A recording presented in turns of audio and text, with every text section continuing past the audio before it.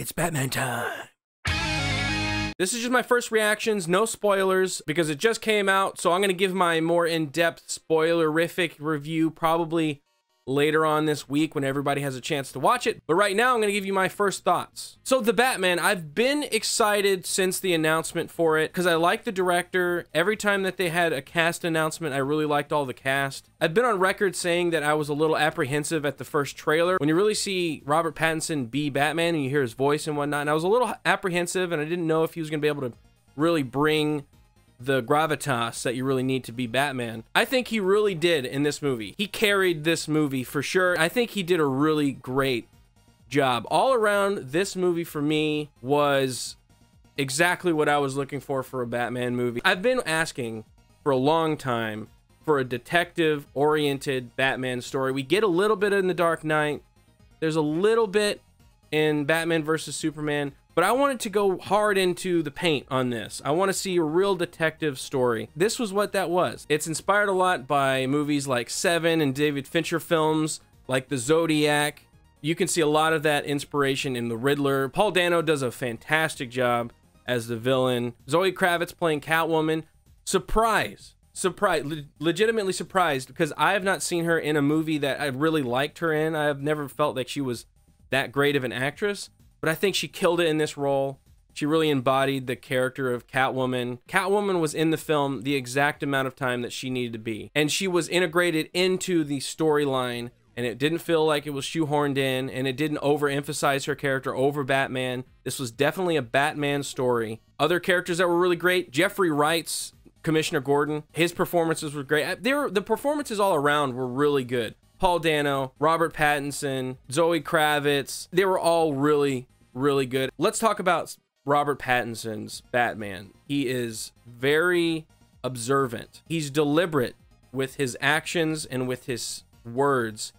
There's not a lot of talking. The movie was not afraid to draw out shots and scenes. It was not trying to barrel through the story. It was taking its time, and I appreciated that. And I really just like it gets you in, especially in the beginning of the movie, it really gets you into this world, this rainy, dredgy world of Gotham. And Gotham really is a character in and of itself, and we haven't had that in a long time. This style they created this movie with is I'm all for this style. I love it. The visuals are amazing. I'm very glad that Robert Pattinson was able to kind of pull off the Batman feel. And it was a different take a little bit. A lot of the news surrounding the movie was about him being unhinged and all of this stuff like this, but they did it in a way that really made a lot of sense for somebody that went through a traumatic childhood and developed this revenge, a vengeance kind of mentality and really wanting to go all in into that. He even says in in the early part of the movie, he says, "This is my family's legacy." The filmmaking itself the cinematography is just so good and the score each character's theme really fit their personality. You got a sense of who they were through their theme. Catwoman's kind of soft melodic music to batman's hard thumping bass. The score really brought everything together working with the sound effects and the visuals. Really painted a really grungy gritty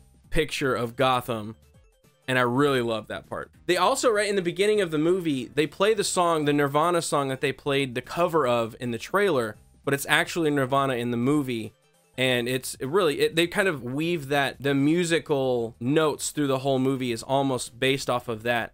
And I really like that song, so it kind of, it really worked for me. This is a story about Batman in his second year. So he's been around for a little bit. We have Commissioner Gordon kind of backing him, and he knows who he is, and the other police officers are questioning his motives and don't really know. They really set up that world and where it goes. Again, no spoilers, but where it goes is a good place. I like where it where it went with his relationship with the city and how how it going forward in their vision of Batman and what he is for the city. Well, I'm gonna make it pretty quick. I like the movie a lot. If I had to give it a score, I would give it like an 8.5 or a 9 out of 10. I really enjoyed it. I have some issues with the ending of the movie, but again, I can't get into that until I do the spoiler review. I think the movie is the strongest in the beginning, and the the ending of the movie is a little weak. Overall, I really like how it was presented. I like the world. I want to see more of the world. I would like to see more villains and what they do with that. More in the spoiler talk. I'll talk about that more. I know a lot of people will ask the question, is it woke? Are there agenda politics in it? There's one line in it that I kind of rolled my eyes that you can kind of overlook. There's a little bit more going on in the ending of the movie that I want to get into with the spoiler that I won't get into now. It's really not that big of a deal. It didn't affect my view of the movie itself. So thank you for watching the video. Let me know in the comments below what you thought of the movie if you get a chance to go see it. Let me know. I, I want to see if you guys liked it, if you didn't like it, the reasons why you did or didn't. Please let me know. I read all the comments. I will read them all. I read them all. And if you want to support the channel, go and buy some merch I got. I have merch down below in the description. I made a new special edition skull shirt. I had a lot of fun working on that shirt and I have a new shirt on the way. And see us tomorrow on Friday Night Tights when we all break this down on the show. Like, subscribe, do all that fun stuff, and until next time, I will see you next time.